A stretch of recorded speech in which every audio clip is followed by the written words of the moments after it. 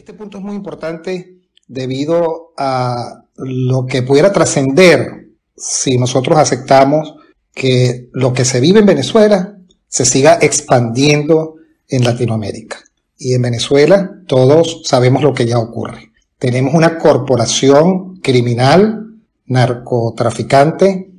de un mitómano que se llama Nicolás Maduro, que conjuntamente con los que hemos denominado lacranes, que no son más que gente que se infiltró en la oposición venezolana, se han venido dando oxígeno para eh, tener un país como el nuestro, rico no solamente en recursos naturales, sino en su gente, y que ha venido sufriendo los desmanes de esta agrupación criminal que desgraciadamente continúa usurpando las funciones en el Palacio de Miraflores en Venezuela. He solicitado el derecho de palabra como miembro de la fracción 16 de julio, a la cual me honro en presentar, en representar.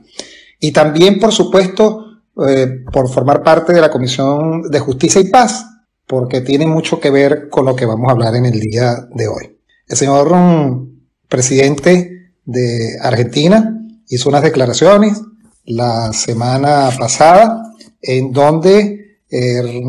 su gobierno, el gobierno de Argentina, retira el apoyo a la demanda contra Nicolás Maduro presentada en la Corte Penal Internacional para que se investiguen las violaciones a los derechos humanos que suceden permanentemente en Venezuela,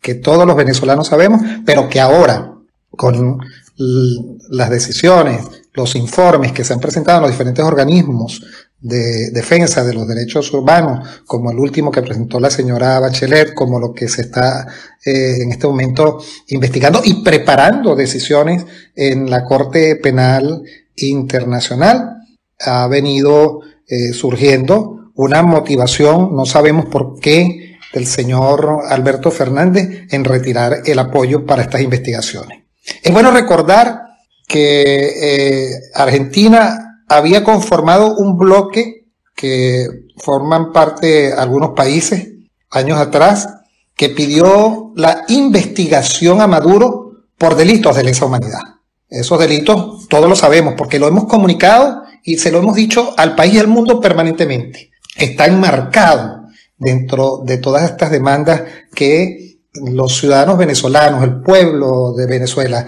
la patria venezolana reclama eh, producto de esta pérdida de libertad y democracia que ha sido eh, secuestrada por esta corporación criminal. quiero hacer mención con la anuencia del presidente de la Asamblea Nacional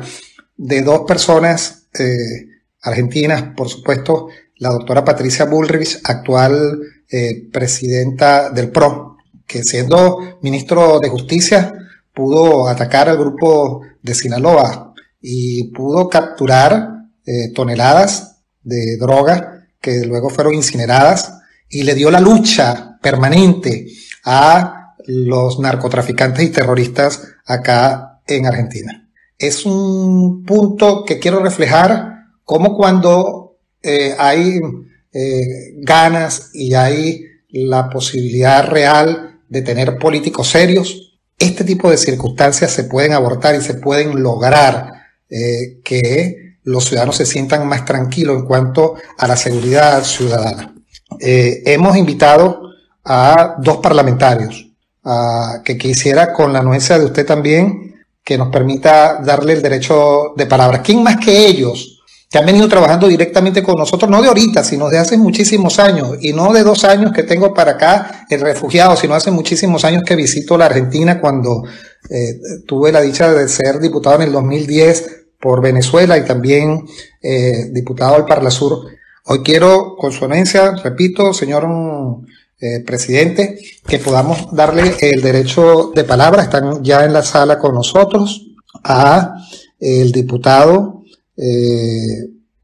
que ha sido permanentemente consecuente con nosotros, eh, Ezequiel Fernández, del Logan. Él es el vicepresidente de la Comisión de Consumidores y Usuarios y también de Asuntos Constitucionales y quien fue la persona que estuvo con nosotros en una sesión cuando le dimos el apoyo a la Asamblea Nacional y al gobierno interino. quiero también posteriormente que le podamos dar el derecho de palabra a alguien que conoce también a Venezuela muy bien, a nuestro amigo, a mi amigo, también como a Ezequiel, a Álvaro de la Madrid, que es de la Unión Cívica Radical, Juntos por el Cambio, del PRO, de todas esas organizaciones políticas que forman parte de la oposición en Argentina, vicepresidente de Seguridad de Política Interior, Relaciones Exteriores, de la Libertad de Expresión y Legislación Penal. El pueblo venezolano, señor presidente, colegas parlamentarios, pueblo de Venezuela, está indignado, porque hay opiniones que no se pueden dar a la ligera.